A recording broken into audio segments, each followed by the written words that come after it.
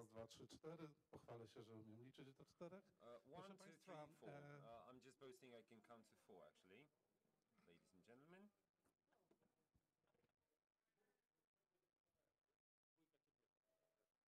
Ojejku. Jestem. Czy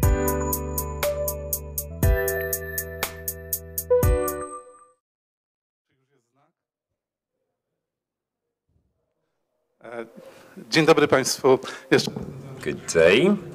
I'm Chryciuk and I have a pleasure of moderating another slightly late panel, but I hope this short, tiny little break for you following the very high emotions of the first panel, today's first panel, was needed. The second panel is going to be more of a Polish-speaking panel, concentrating on the problems of post-war migrations in Lower Silesia.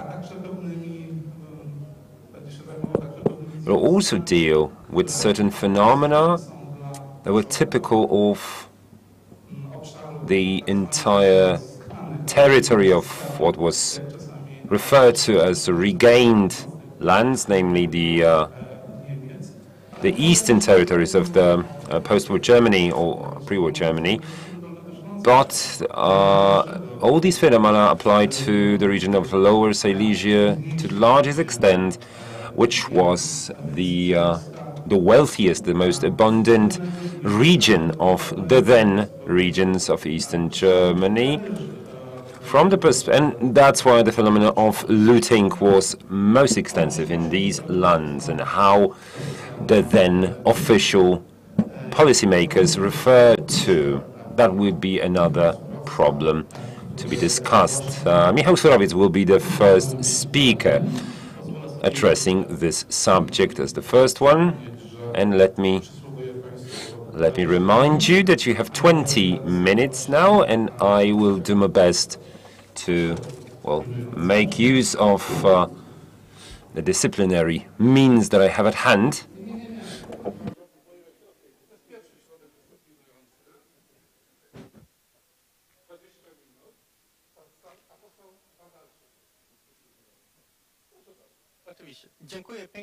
Thank you very much. Dear ladies and gentlemen, I'm Michał Surowiec. I work at the Wrocław Institute of National uh, Remembrance and I'm a doctoral student. Uh, my doctoral dissertation is mainly devoted to the settling uh, campaign, but I primarily focus on the pioneering in the Lower Silesian lands. Looting is a phenomenon that, uh, well, uh, refers to the title of my doctoral uh, thesis on account of the fact it will not be uh, published probably because it was uh, already uh, has already been published in the literature on the subject. It might extend certain items, but uh, insofar as the projects provided or presentations provided in uh, categories are legitimate, but as far as the publication is concerned, it would be unnecessary. My presentation will be divided into couple of uh, parts. I will uh, focus on the evolution of the term loot or looting, which is key, uh, considering further elaborations. Then I will focus on the chronology of the evolution of the term, which has become a base point for the entire elaboration of mine, and the key point, namely the uh, dissemination of the term. Obviously, there are going to be some conclusions stemming from the previous two two uh, other items. Um, it will be uh, focusing on how looting was addressed by communist uh, authorities. This is not going to be a presentation devoted directly to looting, but also a presentation that will propose a certain interpretation of the phenomenon of uh, looting uh, vis-à-vis uh, the communist propaganda and how it might have been used by the propaganda. It is clear that in, I was inspired for the presentation as well as for my dissertation was uh, Jerzy Hoffman's and uh, Jerzy Zdrojewski's film Prawo i Pięść was referred to as Western or Eastern um, film which refers to the reality of 1945.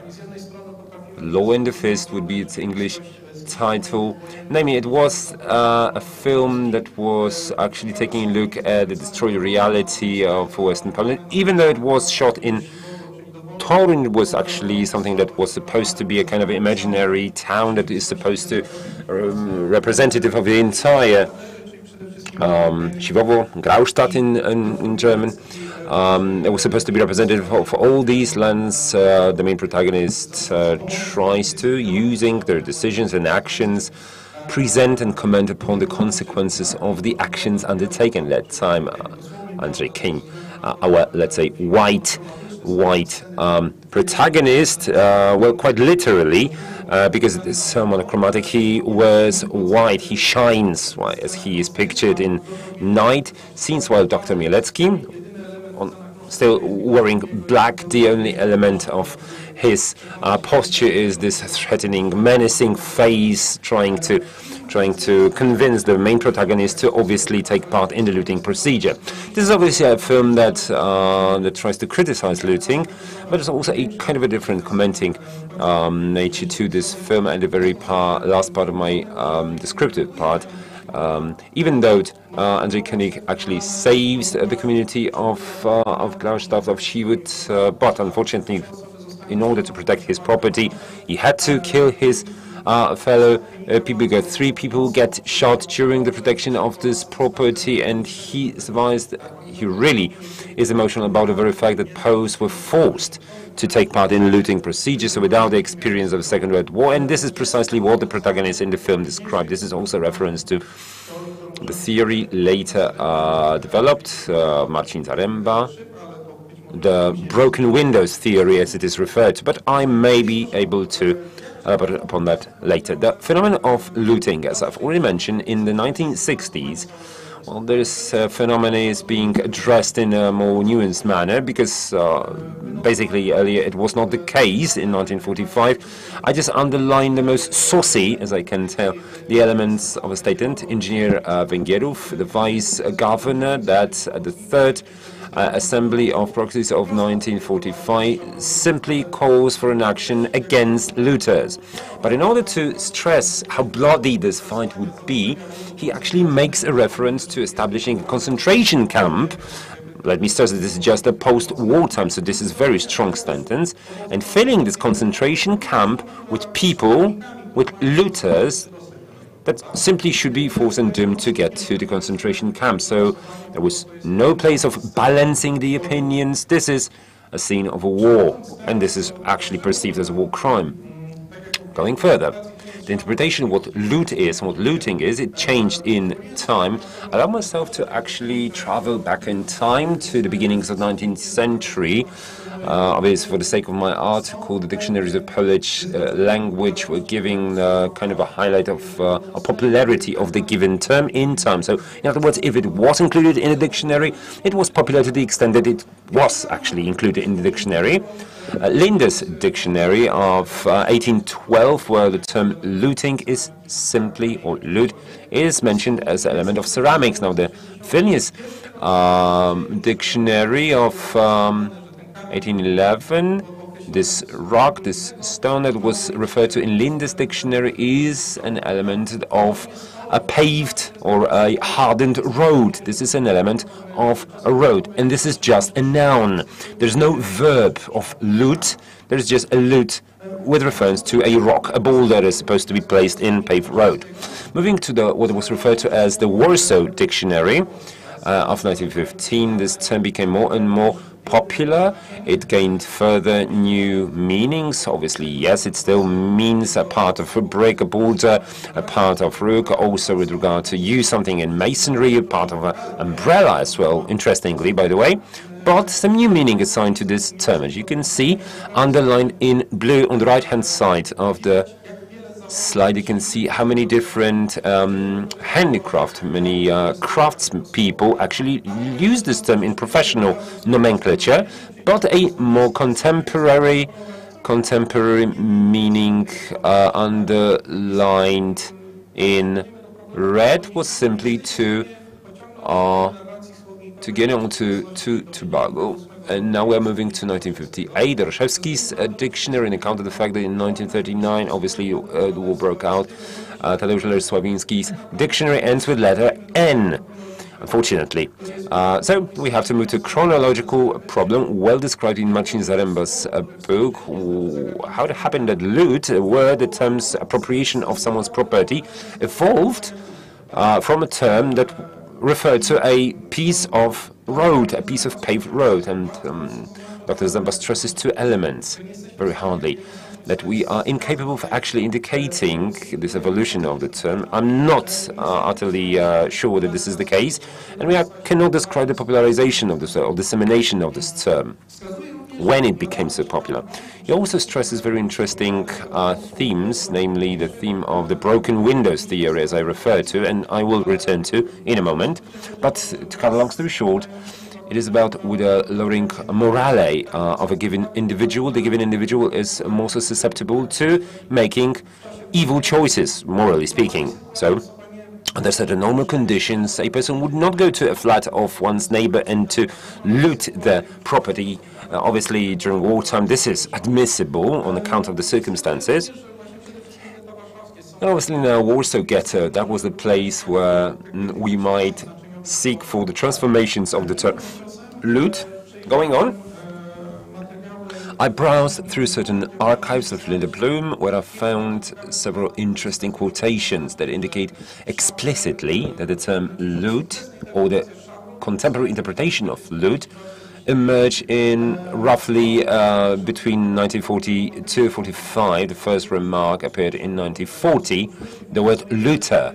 So this term was used before that, but not having been defined. The first attempts to define, according, according to my research for the Ringelblum uh, archives, was after this Warsaw, after September 1942, and I quote here from Abraham Lewin, 29th of September 1942, where the author, a teacher, indicates that it was supposed to be an activity of collecting uh, precious things left uh, from Jewish apartments, and in as the origin of the term was supposed to be also from uh, handicrafts jargon, but also indicates to certain Gen German stem, which is to a certain extent also true, especially considering the Vilnius dictionary that would confirm this particular thesis. And then a quotation from Emmanuel Ringelblum, um, the founder of Shabbat, uh, thanks to which we can actually use these um, materials. Uh, again, from 1942, an ex quotation, Emmanuel Ringelblum clearly indicates that looting is supposed to be linked with the activity of actually selling things left from uh, the uh, expelled persons. Well, in terms of the situation after the settling of the situation in the Warsaw uh, Jewish ghetto, we have a more narrative uh, approach to this term.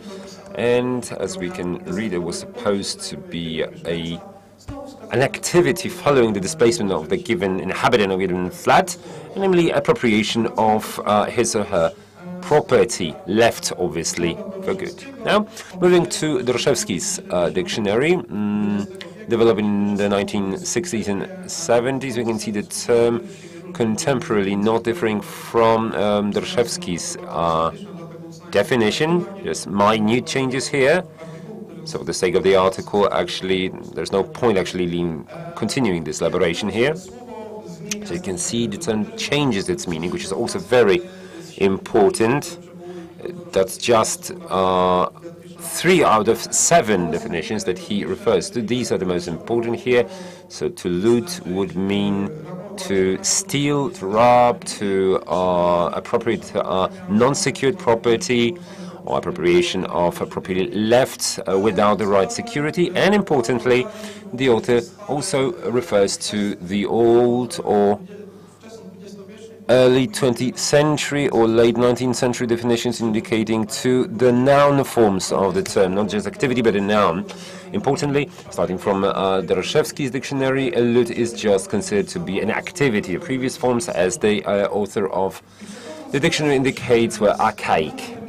So moving from terminology problem to the very subject of my presentation, the main problem of the the activity of looting in regained lands, um, post World War II um, is the decree on uh, abandoned property of 1945. The property, if the given activity was supposed to be called as loot, the property must be uh, according to the criterion of being left without proper security. With Article 1, the definition provided thereof, we are not interested in that on account of the uh, territorial division. The long cut, the long story short, it was uh, before uh, September 1st, uh, 1939. For obvious reasons, we are incapable of actually indicating this kind of a property. Uh, but for the second article, with lost property or abandoned property, it's an interesting definition on account of how extensive it was. To cut a long story short, an abandoned property is everything that belonged to or was held by the German state. In other words, even the properties, the things transported during the September campaign to the Lower Silesian mm, lands, so were held by the German state, so, well, that actually has the property uh, the characteristics of uh, abandoned property. A very interesting clause in this case, uh, also so that uh, there's no doubt about what looting is, what the property actually, or who the property actually belongs to, is Article 4, creating a clause of uh, bad intent, person with or a holder of bad faith, actually, on account of the fact that this is a property that has the characteristic of abandoned property, it may be deprived, uh, the given person may be deprived of this property, the holder in bad faith, as it is um, properly referred to. In other words, the state is entitled to appropriate this uh, this property for the very reason. Well, it's really difficult to find an abandoned property that is not according to this definition. And slightly jokingly, uh, moving to this um, temporary, temporary national, temporary state government. Uh, the well, the temporary temporary government is actually a kind of an extension of the Ministry of State Treasury, which claim that the abandoned property is included in the budget of the Ministry of Treasury, so it's the property of the state. It's important to the point that later on it would normalize or standardize what the phenomenon of looting was according to the propaganda. But more about it later. Szaber w 1945 roku przez In 1945, uh, looting uh, was perceived by the person who was supposed to create a public and administrative life in Lower Silesia didn't know what it is, what it was, and how it should be defined. And just a good example here, a very a quotation of an important person, namely Major Stanisław uh, Imiołek uh, or Stanisław Śliwa, that was the director of the security office in September 1945, who clearly states that he was incapable of clearly determining what looting was. The most interesting thing is what what looting really is. He tries to obviously define and uh, refers to different penal codes or criminal codes. So there is the pre-war criminal code, which collaborates with the decree uh, of uh, September 1944, with the uh, martial law period that is going to be abolished at the end of 1945. At the same time, there is this criminal code of the Polish army that, to cut a long story short, guarantees death penalty for any major offense at this period. So, when Major Imiołek thinks what sort of article uh, the procedure actually corresponds to, he uh, he uh, refers to either theft or forgery, and he calls that to be uh, evil deeds. But he suggests that a new definition could be created that enables the authorities to act. Appropriation of uh, someone else's property to be served by uh, imprisonment uh, up to 15 years. So again, a reference to the small penal code uh, that will be uh, enacted in 1946. To cut a long story short, um, the death penalty was replaced by imprisonment penalty up to 16 years. However, the problem in 1945 was significant. So the very uh, um, the very meetings of the penitentiaries of state authorities were very interesting, a digression of sorts. Practically speaking, this is not a typical source material to the point that we are capable of testing these um, these materials and the descriptions, and they are still being verified by people who simply created the reality of Lower Silesia in 1945. And now, moving to my comment upon the very phenomenon of looting, I decided, and obviously, just the aggression again. Uh, there are so many different examples. I just decided to refer to the most interesting ones. Again, uh, statement quotation of Stanisław Piaskowski, uh, uh, a, future um, Lower Silesian voivode, who at the same meeting on the 9th of September spoke about his perception his struggle against his fight against looting and different typologies he refers to. And these quotations are supposed to highlight two elements, namely, in the previous slide and this slide, they refer to a struggle of Mr. Wojciech uh, Piaskowski with, the, let's say, the national or, or state looting. And he also refers to individual looting, the one that should be fought against primarily. Piaskowski also criticizes on, uh, on the Polish People's, uh, Polish uh, uh, People's Party. Looting also appears in the prayers, uh, the main carrier of propaganda of that time, in the first source being um, Dolnośląski Pionier, uh, the magazine, uh, and the article entitled Fighting Against Looting and Speculation. Narrative repeats itself all the time. Um, so the coerced force camps, Wrocław fights against looting, the arena of fighting with looting, but there are also some attempts to show, to demonstrate that looting may be something good. Unfortunately, uh, for the sake of time, I'm not going to elaborate on this particular theme. It was rather showing that this typology was uh, breeding with regard to its unclear uh, actually definition what loot what uh, really was. And conclusions that are not provided here on slide on account of the fact that I'm uh, actually finalizing this article and I wouldn't like to suggest you too much or suggest uh, final conclusions that would actually uh, have an impact on my dissertation. The reality of propaganda of 19, um, 1945. So the words, the, the forces of good and forces of evil, uh, the, the distinction was not that clear. Obviously, it was more of a blurred time. We are just talking about general trend. Looting was accepted in states circles as a threat, not because re- the settlers would have no property coming to Western lands, but the point was that it was actually looting on the state's property.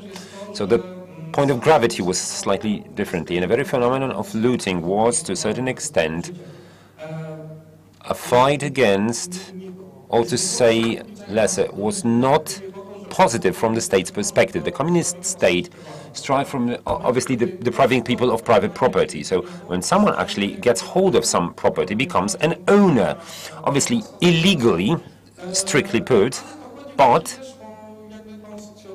it was also about this social engineering uh, techniques related there too, because people coming here had very little because they left all the property in the east. So when coming to uh, uh, Lower Silesia, they were supposed to be given equivalent of their property, but they didn't.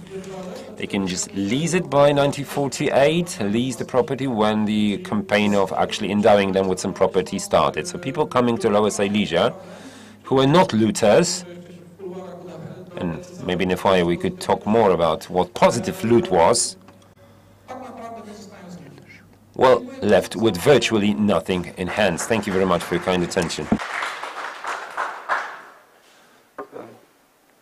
Chciałem podziękować I would like to thank for for sticking to the time, serdecznie za niezwykle interesujące but also for the extremely interesting comments on um, the terminology of looting. And it seems that um, you know in the um, 30s or 40s, uh, this um, vocabulary generally used to uh, came to include this um, well this this prison uh, terminology that uh, used to function in this criminal subculture. And and then it kind of spread into the um, general language So it penetrated into the general language from this kind of criminal subculture, and I believe that it was really interesting to um, point out this. Uh, unfortunately, the speaker didn't have enough time to to kind of delve deeper into into that. So, in, that you know, individual looting and state uh, sanctioned looting or state looting. So um, wh- whether you know looting was um, considered as theft, well, the state kind of eliminated competition or rivalry in this theft by treating it as an offense. So, so well, I guess that um, the the discussion will be um, um, excellent. If but we should take it outside also to. Um, to learn about the, uh, the, the more extensive arguments concerning looting. Uh, ladies and gentlemen, the next presentation as part of this panel by Aneta Filej-Buzon, who represents the University of Wrocław, and she will refer to leaflets and occasional prints, uh, things that, well, perhaps escape our attention sometimes, and which is um, transient and volatile in our memory. However, it might point to the relations between uh, displaced persons, uh, resettees, and uh, allies, and um, and uh, well, actually, allies. This is a topic I'm um, I'm thinking about. And here we have a Soviet-produced stopwatch. Um, so this is what I think about when I think about allies, right? Um, so. Uh, ladies and gentlemen, this will show us a very interesting topic indeed, because we often talk about this presence and this influx of human masses, and we're talking about administration, Polish administration, this temporary administration, and which um, kind of took root increasingly strongly in these western and northern lands. Uh, but sometimes it eludes us, you know, this um, presence of um, of this Red Army, and then of the Soviet Army after afterwards, which determined the conditions of safety, security, and life at least until 1946. And I believe that uh, this presentation um will give us um, some insight into this and um, into its influence in the subsequent period, especially in Lower Silesia. I'm sorry for um, taking up your time. Um, uh, uh, sorry for taking a bit of your sensational information, but here there was the headquarters of the Red Army's uh, northern uh, section. But in, although I would like to remind you that initially the headquarters um, were in Szczecin, and in 1945 June. Uh, the place of stationing of the northern group was supposed to be Łódź, but that's just, you know, by the way. Thank you for the introduction, uh, uh, Professor. And I would like to dedicate my presentation to this particular presence of uh, soldiers of the Red Army, then renamed well, soon after World War II to the Soviet Army. And I would like to show you some occasional prints, leaflets, original uh, traces, which in um, the normal conditions of life of this society are a kind of social barometer, really. These occasional prints I will show you um, uh, were actually presented for public reading and were presented in places where those uh, gathering here, those who came to Lower Silesia, uh, were present, and they are mainly from the Lusatian collection of the University Library in Wrocław. But some of these occasional ephemeral prints are kept in the uh, Library and in the State Archive, National Archive, and I do recommend um, this uh, huge collection of photographs from that period, which present even more poignantly the um, mm, presence of the Allied army, Soviet army.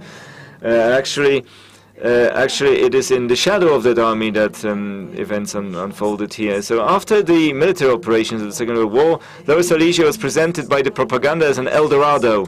However, it was neither calm nor affluent, and uh, it uh, turned out that one of the uh, Professor Antoni Knot and Zofia Gostomska-Zarzycka, who uh, went all along the route from Lvov, and she had no nothing to eat. She had to sell her property, and then she found herself as part of a group of the pioneers who, together with Professor Kulczyński, came to Wrocław. So thanks to their efforts, in particular, we have the opportunity to uh, actually see these documents, these ephemeral prints. And ladies and gentlemen, for the purposes of uh, today's presentation, I um, browsed a couple of Russian websites which um, actually uh, gather some uh, recollections, memories of soldiers who are here in 45 to 56, uh, or their descendants, by the way, including the great-granddaughter of Konstanty Rokossowski, who was the commander-in-chief of the North Group of the Red Army, which was created on the 29th of May of 1945. And as the professor was kind enough to mention, Legnica was chosen for various reasons after Szczecin and Łódź.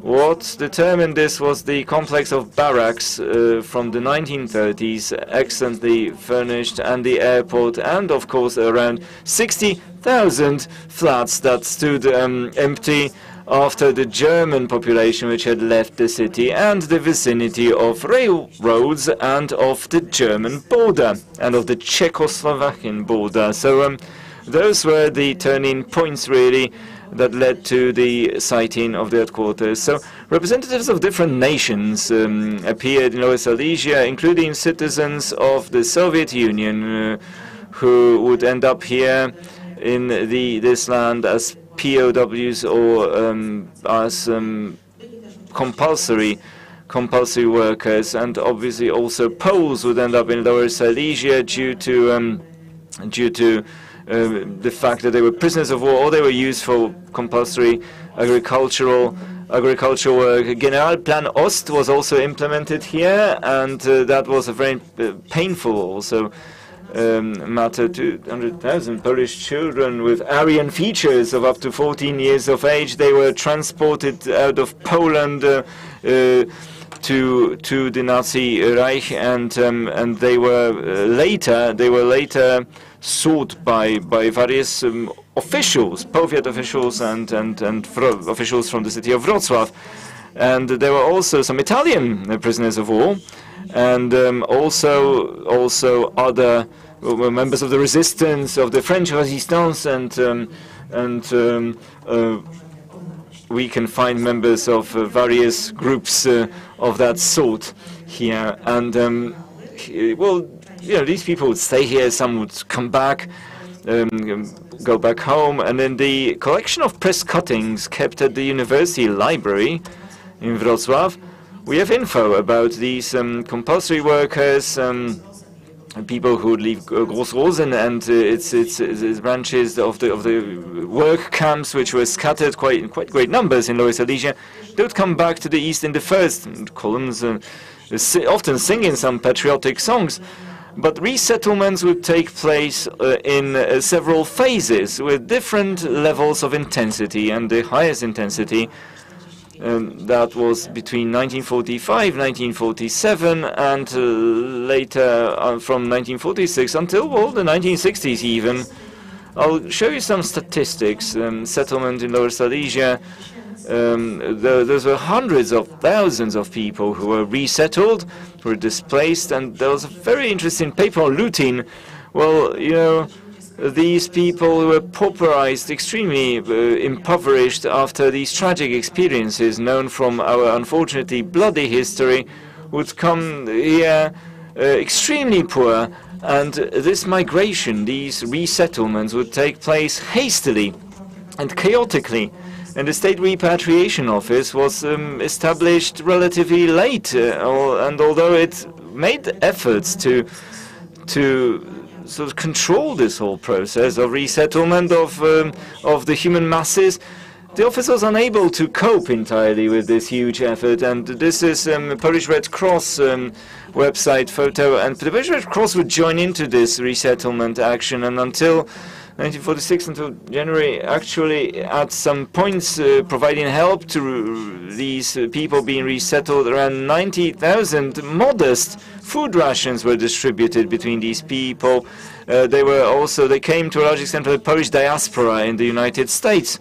because in Lower Silesia, well, the, the Red Army passed through Lower Silesia, heading towards Berlin in this uh, vi- Vistula order uh, action, this campaign, and then they would come back from Berlin, also soldiers who'd been demobbed as soldiers from um, from you know, the, the Soviet army who would come back uh, to their homeland. So this army crossed these um, uh, lands twice, and uh, also uh, there was info about uh, tho- those Germans who were deported from this, who were forced to leave information about how much property they were allowed to take with them. Often the propaganda would use this fact, and this would be juxtaposed against those impoverished people being resettled. And uh, so it was all the more tragic since this um, uh, 75 uh, section 90 uh, ordinance of this special committee issued in 1945 ordered um, that all sorts of property be um, um, actually be transported out of the German territories. And nobody looked at the, the, the fact that by the, the new geopolitical order, these lands would be Polish. And obviously, factory fittings um, and, and, and equipment would uh, would uh, be covered by that, but also also people who would um, have their personal property taken away. And for instance, people who came from Kielce uh, for the harvest, they simply had nothing to eat. There was around 1,000 people who would come from Kielce, and they went through so-called filters. So that also those filters, so-called filters, operate also on the Polish-Soviet border, and sometimes, uh, well, people would not emerge unscathed from these filters, and uh, Soviet soldiers would take property, would um, would basically steal people's um, horses, carts. Um, with harnesses and, and so on. Uh, the carts were supposed to carry, have carried these repatriates from um, uh, beyond the Bug River. And um, we don't know exactly, although numerous historians have been making the effort to identify the numbers. And this army was estimated at 300 to 400,000 soldiers. And uh, these um, points were distributed uh, in the territory of Poland. There were two types of centers where the um, Soviet army would be located. So these were the um, sort of command headquarters. Uh, which were supposed to check the property to be transported into the Soviet Union as per the order we talked about, and that was without any military stationing there. There were clerks, there were officials, obviously part of the Red Army, but no uh, rank and file soldiers, frontline soldiers. But in the garrisons, there were major forces of, um, of, of, of soldiers. And these garrisons were situated to a large extent in Lower Silesia. And it is worth showing a map here. And this map is from the Institute of National Remembrance Resources, but it shows us just how numerous these points, these settlements were here along the border, and this military settlement um, was actually performed here to protect the new borders. So, um, uh, basically in Borne Sulinowo, uh, there was the largest concentration, but also in the area of Legnica, Krzywa, and in various other localities. And it is worth mentioning at this point that the Russians also deliberately um, unveiled this, this plan to develop aviation also in the territory of Lower Silesia. And ladies and gentlemen, now I would like to perhaps uh, show the largest um, test uh, military um, testing grounds, which covered thousands of hectares, uh, and um, so these training grounds, you know, the army treated this as uh, basically their their spoils from from the war, and um, and often they would um, basically uh, travel in the south from Legnica. You know, some officials would also end up in Wrocław because they were driven out of their um, of their offices by the Russians, who treated this land as their property as spoils of war. And um, they also encountered civilians, and the situation stabilized with time. Around 1947, uh, by you know, the number of um, Russian soldiers decreased to around uh, 30 percent of the initial number, and eventually, after the thaw, um, the so-called thaw, uh, the um, numbers were 62 to 66,000 soldiers, and obviously they were accompanied by civilian employees. And here, various statistics show different uh, different figures, and it is estimated that around 4,000 civilian, um, well, the slide translator's note says 40,000, but the speaker says 4,000 uh, civilian employees, mainly women, by the way. So now um, I will pass to my essential sources. These are statistical data figures, which maybe they are not entirely interesting, but it's worth mentioning that the army built 332 uh, buildings in Poland, but the buildings that they abandoned were very often uh, well, dilapidated and damaged. But not not always, but it did it did happen sometimes that they left them in a very bad state. And so. Um, mm, um, people who arrived from the east, they they well, the people had to deal with this this liberation army, this this red army, and um, and before the liberation of Lviv, around 45,000 Polish citizens uh, left had left Lviv, uh, you know, panicking and afraid of the Red Army. And we have uh, Rok- Rokossowski here, uh, who is here on, on the right-hand side, uh, accompanied by Marshal, Zhukov and um, Montgomery, but he, uh, here, his back turned to us.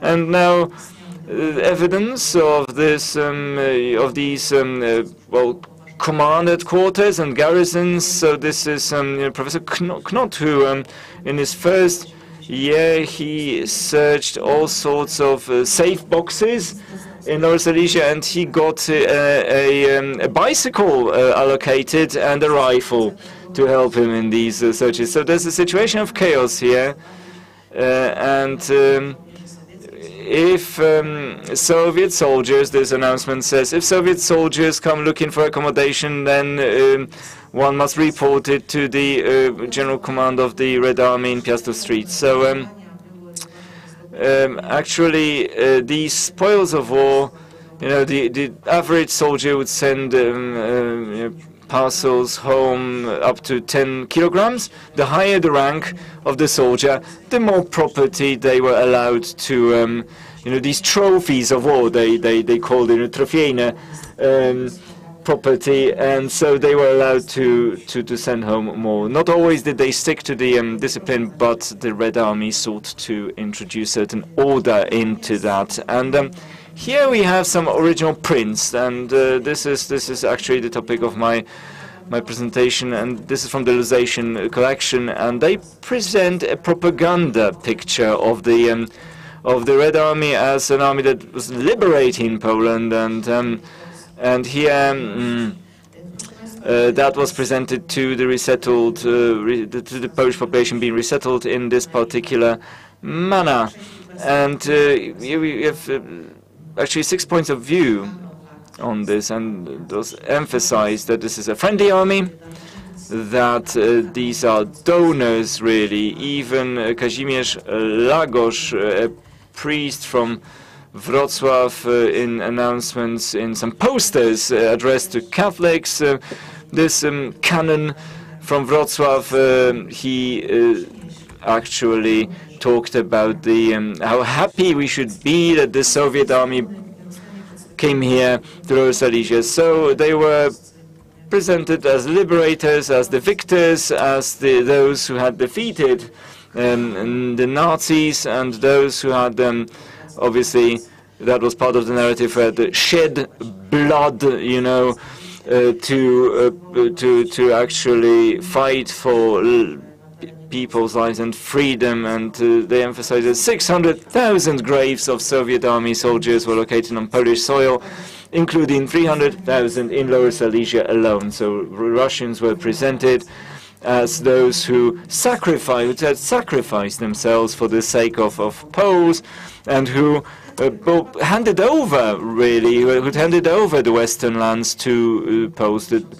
And so these posters referred to 1918 also, to the year 1918 when the Russians had, as was um, uh, stated they had contributed to the regaining of independence by Poland. And um, uh, those soldiers were also guarantors of um, of preservation of the western border. And here we have some original pictures coming from one of the websites kept by the descend descendants of of those soldiers stationed in Legnica, and they have. Um, joyous recollections of, of that state. Three seasons, they, they say in, in Poland, not more. And um, a lot of them, a lot of them uh, played in on, on stage, performed on stage in the officers' um, house, and um, and that was one of the New Year's Eve um, parties. But um, some of those um, meetings, especially between 45 and 48, were quite surprising, and they also they also tell us something about the contribution that um, Soviet citizens made to help people who had arrived here in Lower Silesia, especially in terms of former Nazi concentration camp inmates or orphans orphans um, left behind by German, by, by, by, sorry, by soldiers who had perished during the Second World War, and um, all sorts of um, events were held, and uh, their, their authors were mainly figures of local culture and entities of local culture. It's just theaters, but also some some social associations um, organi organized as grassroots initiatives, um, especially the Social Civic uh, League of Polish Women. And I'm heading towards the end of my presentation. Here we have a militia, sports club, and field post. Uh, um, and uh, we had matches uh, exactly, and this is an, a poster uh, on the second anniversary of the Battle of Lenino and so on. I'm about to end. So all these occasional prints, uh, here we have um, another poster for the Municipal Theatre in Wrocław, but I just wanted to show you uh, is exactly the, is, uh, the dramatic theatre um, of the of officers' house, uh, established probably by Rokossowski, and this um, theatre kept operating until uh, around 1960, and so between 45 and 48, teatru głównie chór, ale też bardzo performance from this theatre, mainly the choir, but um, but also the ballet. Um, and the singers, uh, they also took part in uh, all sorts of um, fundraisers and charitable campaigns. So, on the one hand, there's this propaganda which is um, ever present, but on the other hand, we have um, some interesting events and. Um, although the um, uh, Soviet army were uh, shown as those who def would defeat those who would exploit the common man, but um, you know uh, that was just one aspect of it. So thank you.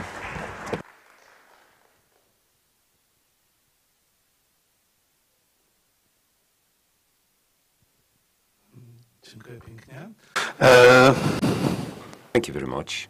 myślę, że jest to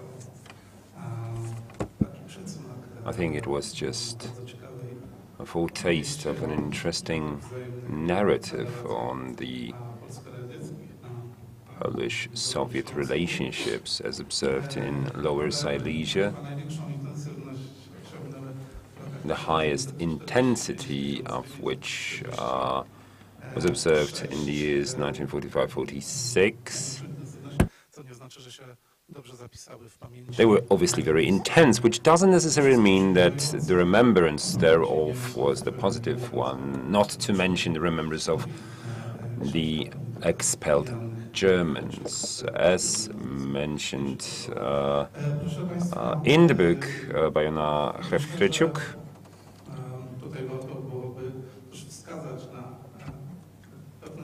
One should also highlight a few linking aspects, those that actually link the presentations delivered to this point, because when speaking about looting by Polish citizens, one should definitely highlight the fact that they actually were settling lands that have already been looted quite significantly because the first looting was performed by the Red Army on an individual basis, but also on an institutionalized basis.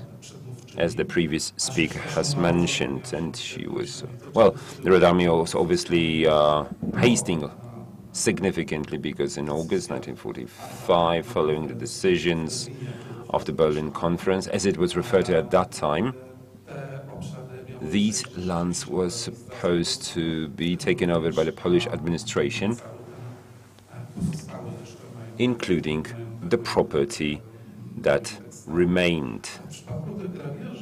So, for the institutional looting, uh, as regards to that, we are not just talking about some mills, lathes, or equipment of bigger or smaller manufacturing plants.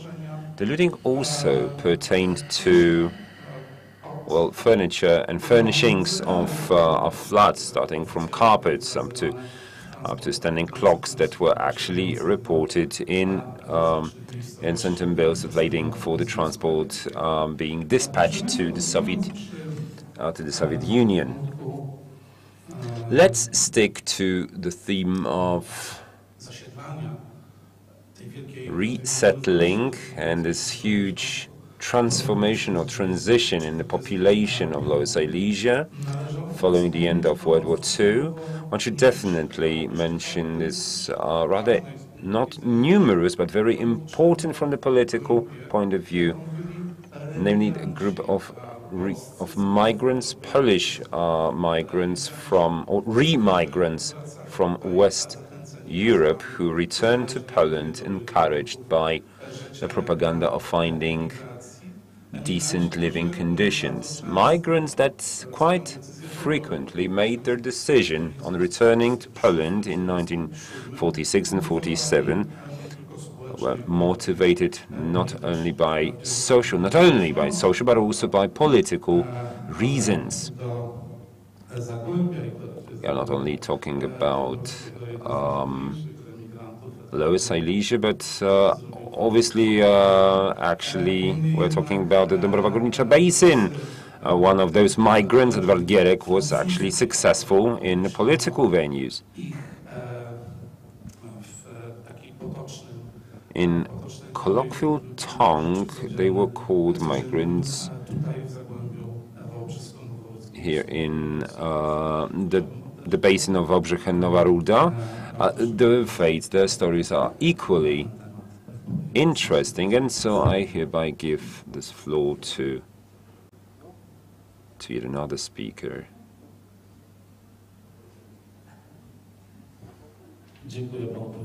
Bartosz Grygorcewicz, I give you the floor. Thank you for this introduction. I would like to welcome you.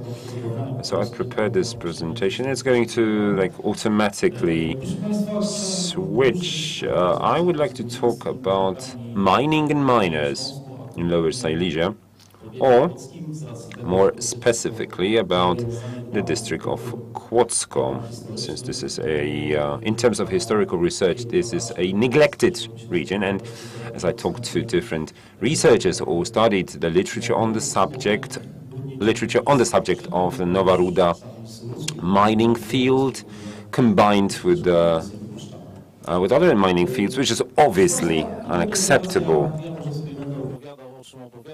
komunikacja będzie tutaj tylko i wyłącznie tłem.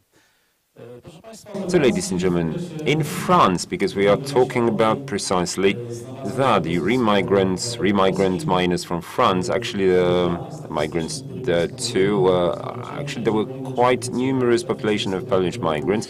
According to statistical data in France, there was about 420,000 Polish citizens at that time, partially we're talking about military or wartime migration. Some of these people went to France as forced workers or uh, demobbed soldiers. Generally speaking, estimating the industry of mining, it is estimated that uh, up to even 600,000 Poles were employed in this extraction industry. We're not just talking about coal mining, we are also talking about mining of ores. In 1946, the Polish party started the first talks with the government of uh, France on how to begin this re-migration, on how to encourage Poles employed in mining in France to come back to Poland. It was, it should be stressed that we are talking about some significant workforce employed mainly at the regions of uh, Pas-de-Calais and the North Department. The French didn't agree to actually narrow down their workforce initially. Consequently, obviously, that would have an impact on the economic situation, especially in the mining sector. However, ultimately, the migration actually took place. Well, preemptively, with regard to the Polish party's activities, the French, roughly uh, at the turn of June, July 1945, reformed uh, the social allowances to the miners, or the social allowance policy for the miners, in having introduced some specifications with regard to applying for French citizenship. And according to the available data, roughly 50,000 of these miners, 53,000 working in mining, so we are talking about 90-95% of them decided to file for French citizenship. However, many of them decided that they should return to their homeland. And we are mainly talking about miners' families uh, uh, active in the National Council of Posen French, so um, an institution that was sympathizing to the Polish government, a kind of a fraction that was obviously conducive to the Polish uh, government of that time. We should also stress that in June 1945, the sections of the Polish Socialist Party were established initially. At the beginning of uh, January 1946, also the sections of the fractions of the Polish, the Polish Workers' Party. With regard to the opposition of the French party, in, um, uh, in, February 1946, the first official agreement was made with regard to this remigration, assuming that in 1946, 5,000 miners would be transported along with their families to Poland. Why 5,000? Obviously, in the years to come, further new transports or, uh, or, quantitative volumes of these people to be transported uh, were set, but unfortunately, it wasn't always possible to accomplish. In these tables, you can see some statistics. So on the 15th of May 1946, from Lens, the very first transport train departed. On the spot, the Polish miners had to file special declarations, they had to fill in all the data that uh, were then necessary to speed up the formalities for the sake of passport clearance and so on and so forth um, especially upon arrival to Poland. However, later on, it was also used, all the data were also used by the special group of the Ministry of Public Security established for this purpose that, well, boldly worked and active in the Kłodzko district. Well, all these transports actually went, were some officers of the Kłodzko Public Security Office or Lipstrzyca Public Security uh, Office on the spot. They, as the files show, they were recruiting the allies or informants or collaborators. But before the miners came to Poland, one would have to prepare the premises or uh, some some land for them. As far as the district of Nowa Ruda is concerned, there were meetings with the managers of individual mines. They were held in March 1946. Something's wrong with my presentation now.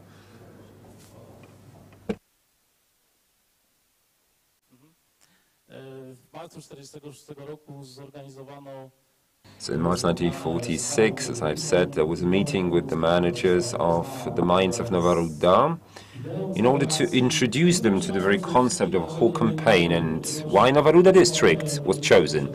For the very reason that uh, it was a region uh, abundant in apartments or in uh, simply accommodation resources, because obviously accommodation was needed to allocate people. Obviously, the uh, the displacement of the German communities from these regions started at the beginning. So the changeover of population was instantaneous. In April, we had this huge uh, wave of uh, uh, of, uh, of expulsion, after which came Polish new settlers to this region. So, in this first installment of transport, uh, up to mid 1946, we had this first batch of miners. In the second half of the year, roughly 800 miners with their families were also allocated there. So, considering every family uh, was three or four persons, we are talking about a significant group of people. What should also be stressed, and I uh, might say it was clear from the photographs, these miners, which came from France, were experienced in working in mines such as those in Lower Silesia. We are talking about high methane content um, mines with high frequency of accidents, but also uh, uh, with the shallow, shallow deposits of coal or ores.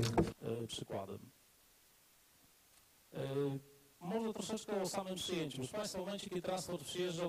So they had to mine them obviously in a bent position on a very uh, thin deposits. Um, obviously, the initial installments of the transports were welcome, with all due respect, with orchestras, with speeches, with moving moments, but it was not that peachy always. Uh, sometimes the transport were left on their own.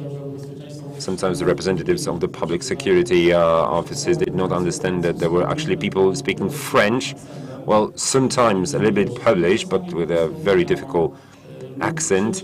They were denied. They were denied acceptance. All the transports were actually uh, kept. It was even, even uh, up to the point that uh, the transport uh, had to cover, had three days to cover Slovakia.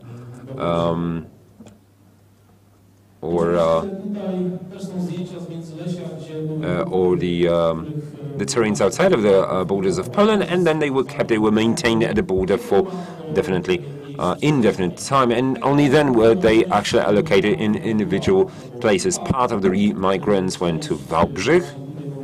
That's where they settled. Some uh, came to Nowa Ruda, and some significant groups were also uh, dispatched to Upper Silesia on account of the fact the, the Soviets actually transported, displaced a significant group of miners from Upper Silesia to the east. We are talking about more than a dozen thousand people.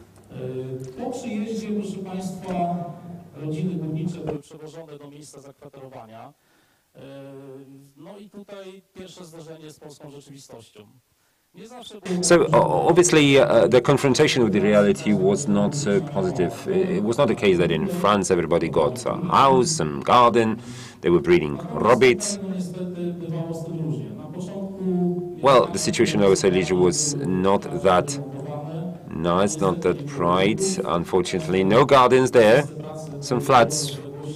Uh, the place of work was several kilometers away of the place of inhabitation, which consequently forced the managers uh, of mines to purchase some lorries in order to transport these people, at least where there was no rail transport, they were transported to workplaces. Plus, in France, um, social security or uh, social allowances, or all the schemes, the welfare schemes were well developed, including kindergartens, obviously. While in Poland, in Lower Silesia, they, these institutions were not, had not been established by the time our remigrants simply came. Nobody expected such a situation and such a need. Plus, this very brutal crash against the reality. The remigrants from France had to come to terms with the fact that once coming to uh, worked workplaces, they were managed by foremen that were Germans. Unfortunately, so at the very beginning, the foremen, uh, uh, the labor of individual miners had to be organized around these foremen who were experienced miners, experienced foremen and managers of mines. They were the ones that introduced the Lower Silesian mines and miners into the very specificity of the operations. Um, in the initial period, 1946 and 7, what should be stressed is continuous shortage in supplies, not only food. We're not talking about the stores, the shops that we know of, that we can enter and just buy whatever. Obviously, food was rationed, And um, interestingly, uh, the mines of uh, were dependent on some state uh, government institutions. So imagine that in mid-1947, every single month, about 150 tons of food was transported to Nowa which was then rationed. Uh, unfortunately, not everybody got its share, got their share because this influx of people was uncontrolled sometimes.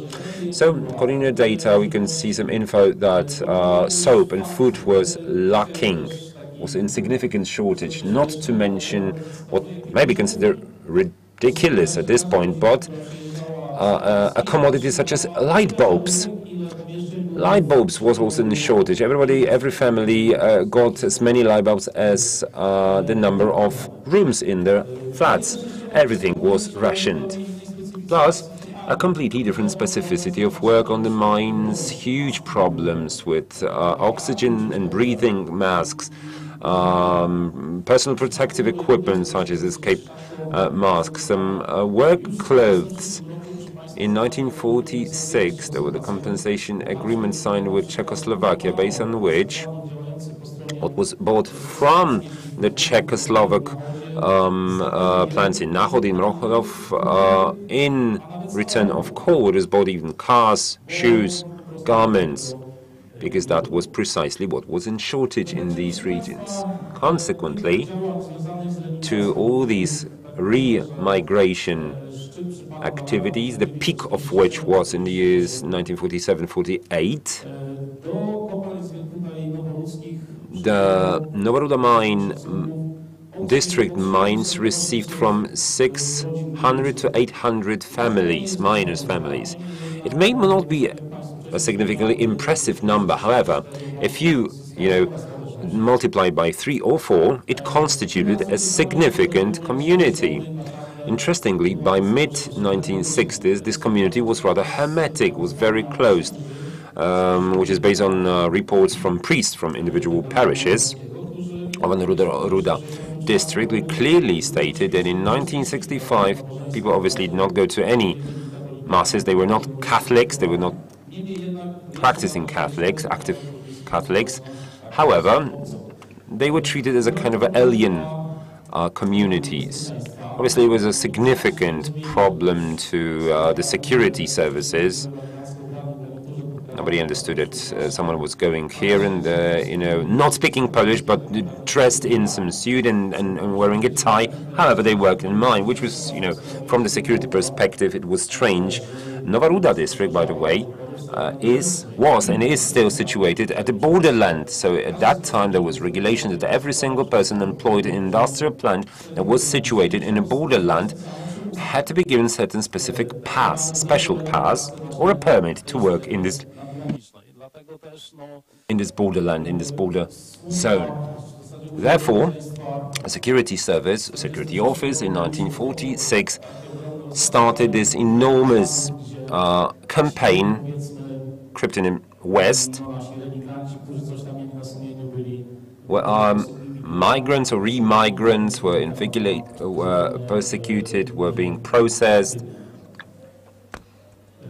because they were suspected of some uh, suspicious activity.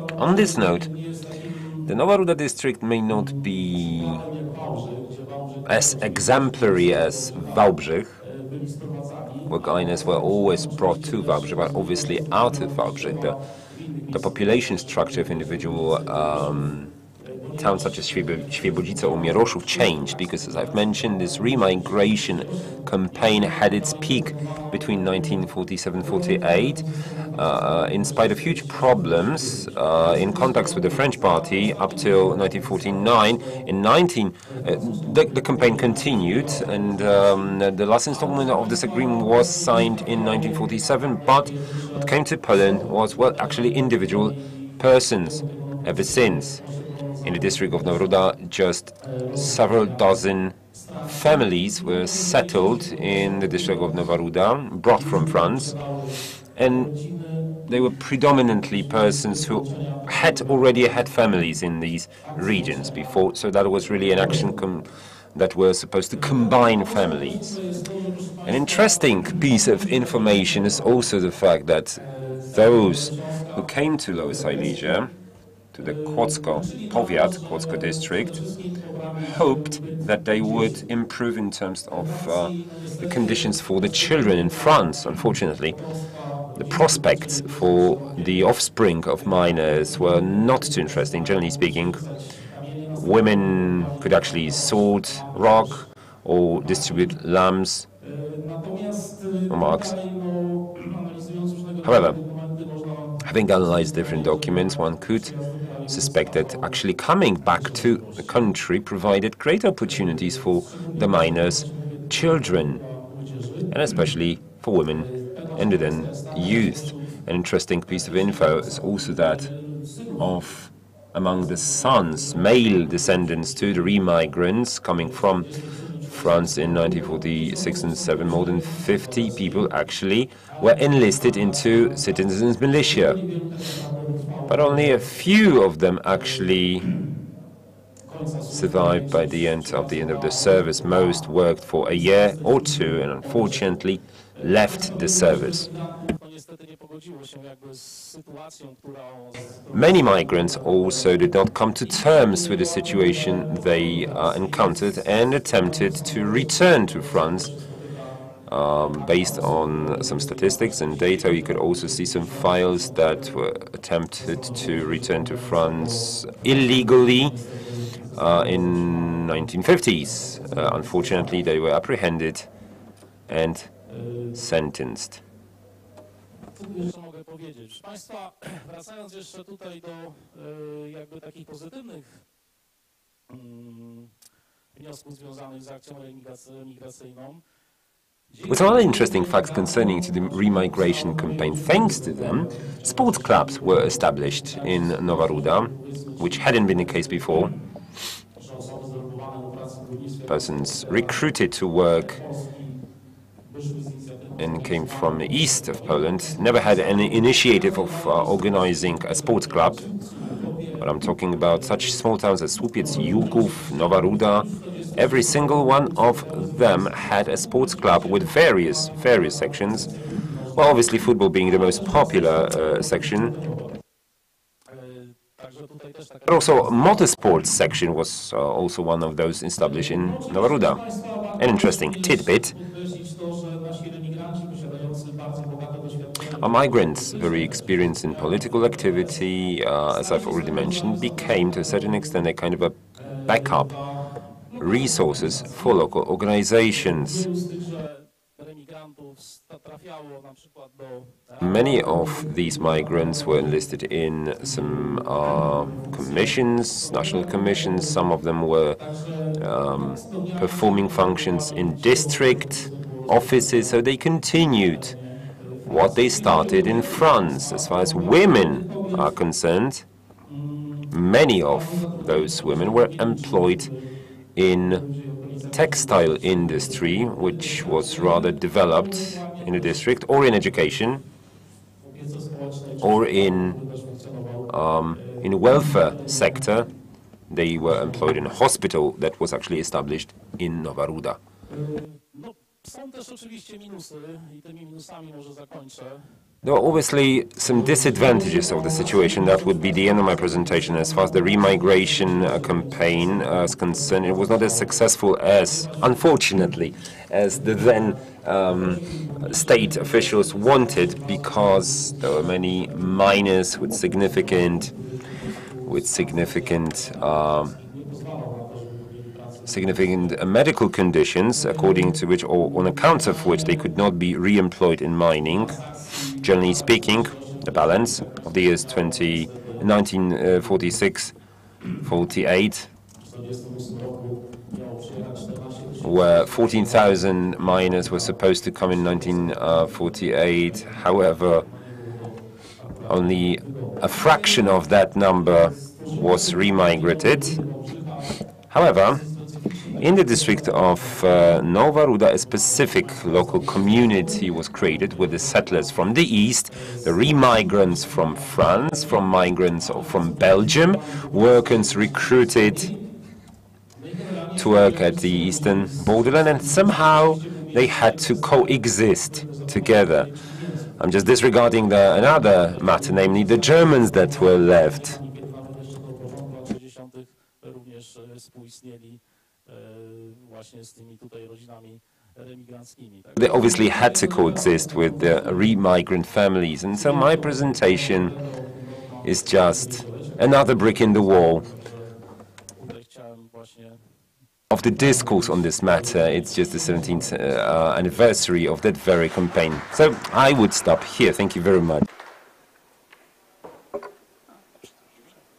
E, Dziękuję pięknie. Dziękuję Thank you very much for giving us this um, picture of the fate that um, that befell the re-emigres, the, the, re-immigrants who who came back from France to the their original um, original land and actually came back to what was referred to as the reclaimed territories or the recovered territories. So, on the one hand, we have these pro-communist interpretations, and the, the French were generally accused of having an, an attitude that was positive towards the transformations that had been taking place. So they kind of stood out among this whole mass of um, people being resettled. On the other hand, there's this thing recalled in the reports of priests, for instance, this kind of indifferent attitude um, towards religion and this detached attitude towards the church, resulting perhaps from the ideological choices, but on yet another hand, there's this disappointment which um, made many re-immigrants uh, attempt, make attempts to return, actually, in a very dramatic manner in the early 1950s, and later using um, using those opportunities provided by the by the Poland back then, which was liberalizing itself after after 56. So um, one of the more permanent elements were brought by the brought by these re-immigrants was the um, uh, actually petanque, you know, the um, practice near Wałbrzych, um, and and um, I believe that we are short of time, so. Um, well, nevertheless, we should exchange opinions after these three interesting, interesting presentations. So I would like to nevertheless give the floor to you, so you can ask some questions.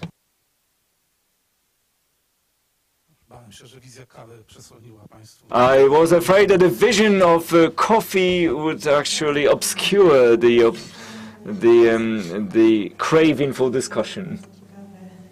Thank you for the very interesting presentations.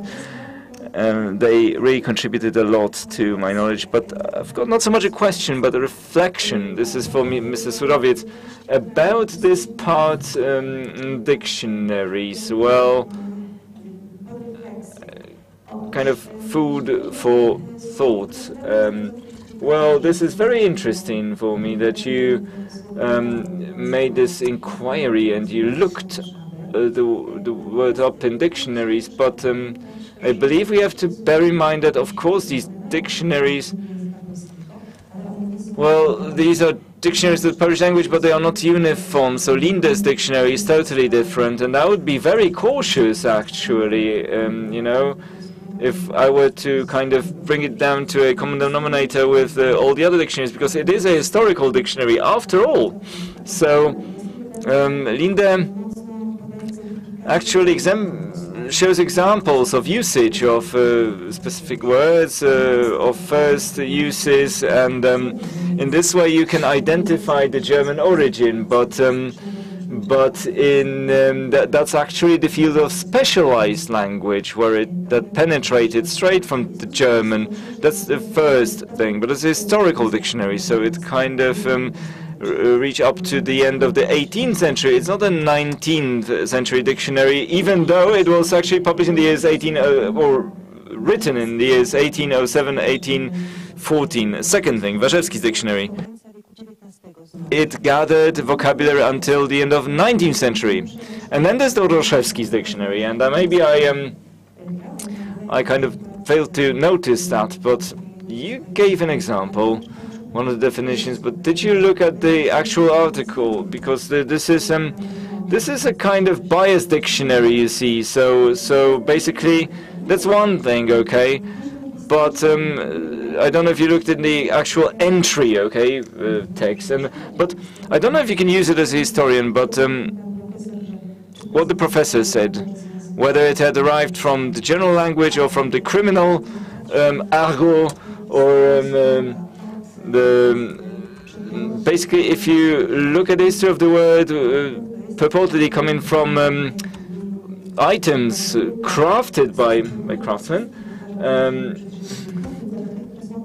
basically it referred not to all craft items but to those crafted items which had been stolen. So we have a kind of narrowing down in semantic terms of the meaning and an additional pejorative um, aspect given to it. So maybe we could give this um, beautiful linguistic introduction to this um, yes to I believe it can be done but cautiously you know with the um, um, careful the dictionaries. So, well, if vocabulary from the past is um, is quoted, you know, from the 16th century, then these historical dictionaries also show this to us, or the or the dictionary of Old Polish, you know, we we could reach there and um, and do it, but careful with that when you when you go about it. So.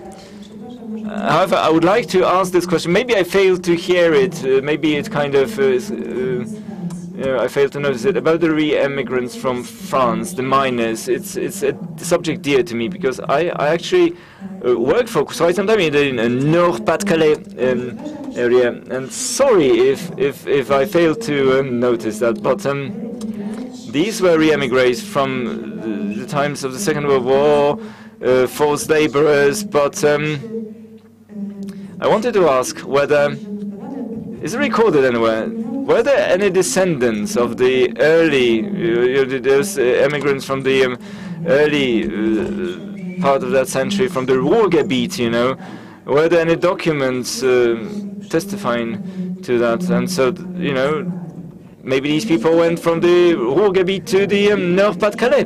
Um, so you're saying that these were people who often didn't speak Polish, but they, you know, spoke French. So that would actually show us that they were people who uh, had actually been born much earlier or born in France. You know. So I'm curious uh, because the association of of these people with Poland is still strong, and they emphasize their Polish identity very strongly. But But they're actually Frenchmen, and, and, and it's it's when they speak Polish, it's it's it's it's uh, interesting because they speak a dialect of sorts, but it has features of early 20th century di- dialect. But you know, their uh, kind of intentions when they came to Poland, um, I encountered the situation of a family uh, in, well expelled from from France for their commu- communist uh, sympathies of the father, and the kids were really sad because, well, first they didn't speak Polish, and secondly.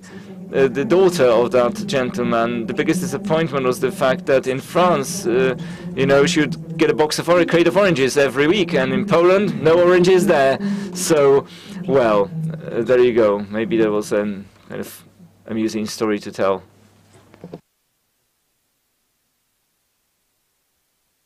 Przepraszam, czy jeszcze są jakieś Sorry, do, do we have any other questions or comments? Reflections, or other contributions? Yes, from Mr. Surowiec, uh, as far as looting is concerned and the word szaber, please look into the Russian dictionaries because there's this fomka tool there, and and and, and uh, that's um that's uh, also burglars uh, kind of uh, ago and um, well maybe the origin of the word szaber it might also come from that tool which uh, criminals would Russian criminals would use not necessarily Soviet criminals not yet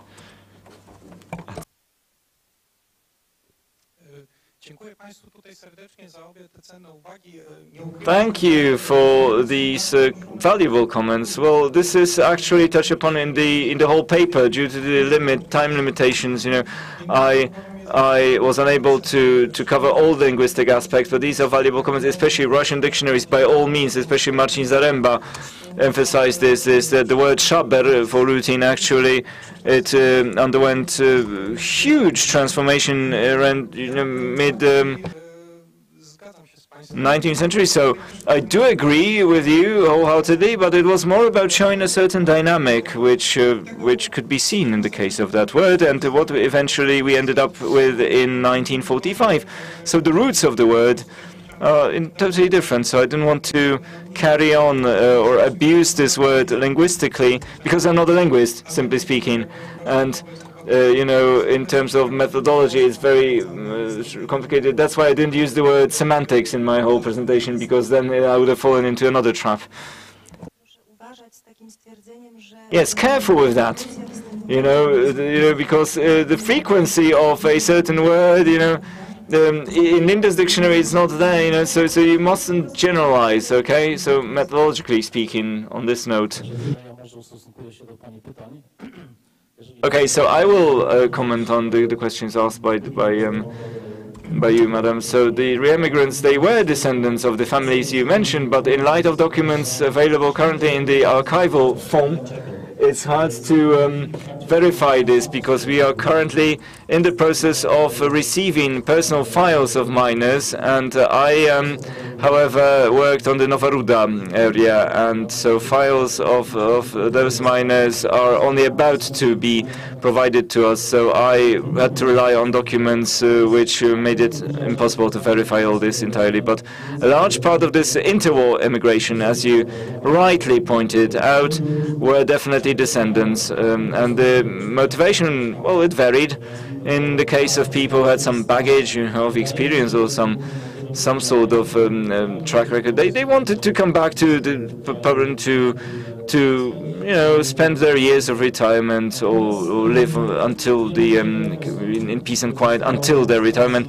But many people were expelled from from France, uh, well displaced for their um, uh, for their political activity, especially for the strikes in 1940 when. Um, where the um, French authorities started started a, um, an extensive campaign against the Communist Party, party actions, and the um, Polish side also started a witch hunt.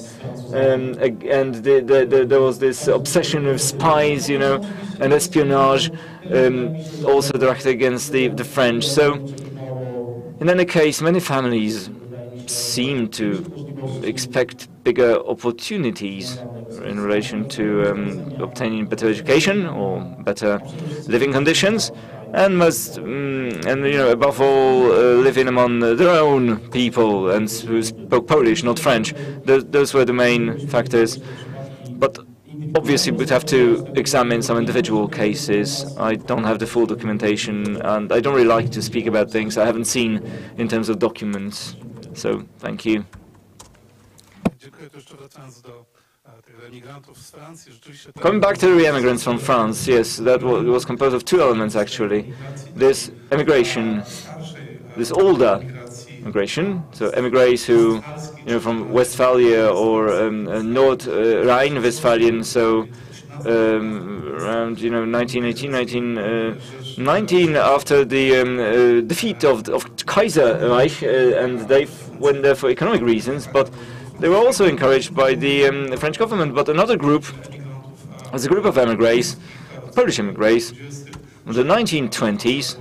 Uh, actually, France was arguably the only country with which Poland had signed an official, the Republic of Poland had signed an official agreement on uh, economic migration to France, and the wave was uh, was big enough to naturally to a situation in which, despite the economic problems in the 20s and 30s, and the emigres being sent back in the 30s, uh, the, there were 400, 500,000 people. If we look at, if you consider Belgium and parts of the Netherlands, um, if you if you if you add this, then then a large group stayed there, despite uh, some people having been sent back. And um, I don't want to actually uh, elaborate because we've um, exceeded our time limits to a certain extent, um, although I would be able to comment on some of the things. So uh, here's the um, long-awaited, much-awaited coffee break.